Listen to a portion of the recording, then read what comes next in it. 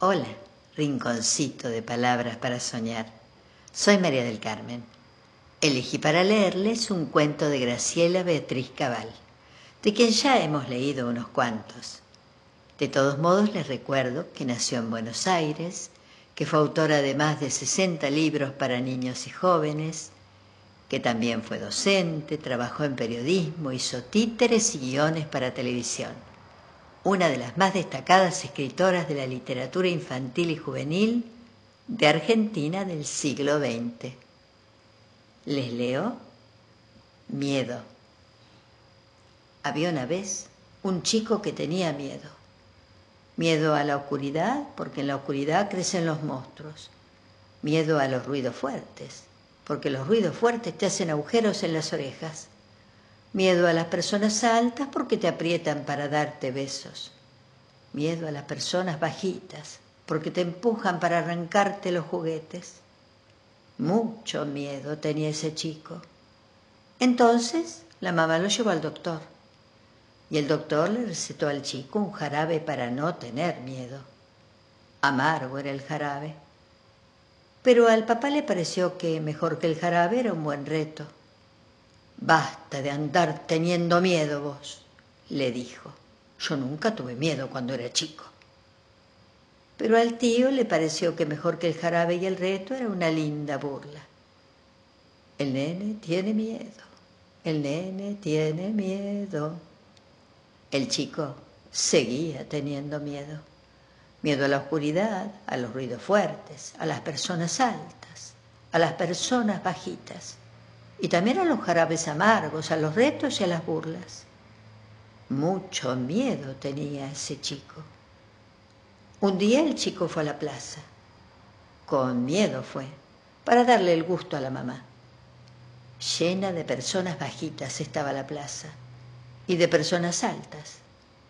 El chico se sentó en un banco al lado de la mamá. Y fue ahí que vio una persona bajita, pero un poco alta, que le estaba pegando un perro con una rama. Blanco y negro era el perro, con manchitas. Muy flaco y muy sucio estaba el perro. Y al chico le agarró una cosa acá, en el medio del ombligo. Y entonces se levantó del banco y se fue al lado del perro. Y se quedó parado sin saber qué hacer. Muerto de miedo se quedó. La persona alta pero un poco bajita lo miró al chico y después dijo algo y se fue. Y el chico volvió al banco y el perro lo siguió al chico y se sentó al lado.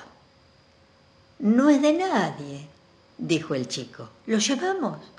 No, dijo la mamá. Sí, dijo el chico, lo llevamos. En la casa la mamá lo bañó. Pero el perro tenía hambre. El chico le dio leche y un poco de polenta del mediodía. Pero el perro seguía teniendo hambre. Mucha hambre tenía ese perro. Entonces el perro fue y se comió todos los monstruos que estaban en la oscuridad y todos los ruidos fuertes que hacen agujeros en las orejas. Y como todavía tenía hambre, también se comió el jarabe amargo del doctor, los retos de papá, las burlas del tío, los besos de las personas altas y los empujones de las personas bajitas. Con la panza bien rellena, el perro se fue a dormir. Debajo de la cama del chico se fue a dormir, por si quedaba algún monstruo. Ahora, el chico que tenía miedo no tiene más miedo, tiene perro. Y así es, chicos, si alguno de ustedes tiene perro, sabrá que su compañía se come todos los miedos. Hasta el próximo cuento. Los abrazo. Chao.